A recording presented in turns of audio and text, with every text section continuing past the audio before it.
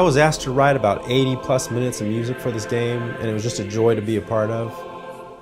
The producers um, and the CEO and everybody involved really believed in the music that I was doing, and the music really inspired them, and they said, hey, we have to record this in real orchestra.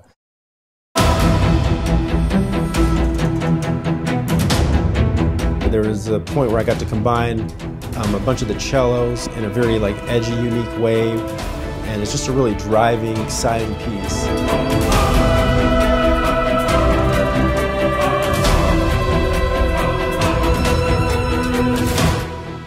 The Bastyr Chapel is a composer's dream to be able to record in. It has a, an amazing natural acoustic sound of its own, and it really brings an epic, full sound to the music.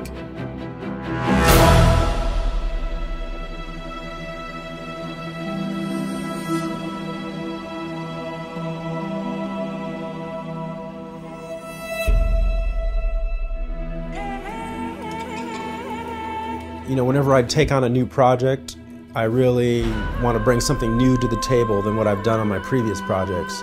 And especially with Stormthrone, it, you know, it's such a, you know, unique, colorful world. So I really try to do something musical that I haven't done before.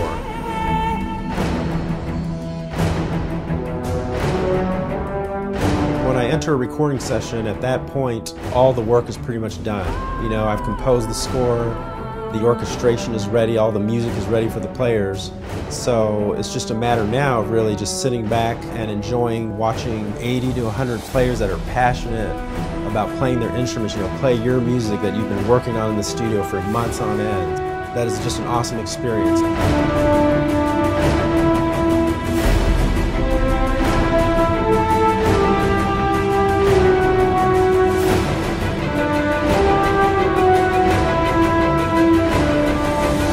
In Stormthrone, the most exciting thing for the players is the fact that they get to play with players all around the world and they get to embark on these epic battles.